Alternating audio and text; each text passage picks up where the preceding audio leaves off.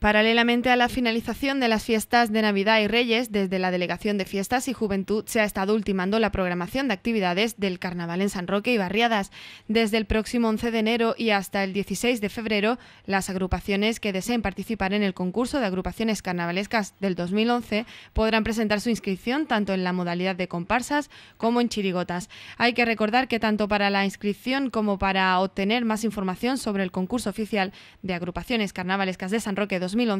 los interesados pueden dirigirse a la Delegación de Fiestas y Juventud en la Avenida Gibraltar, sin número, edificio Diego Salinas, primera planta, o al teléfono 956 78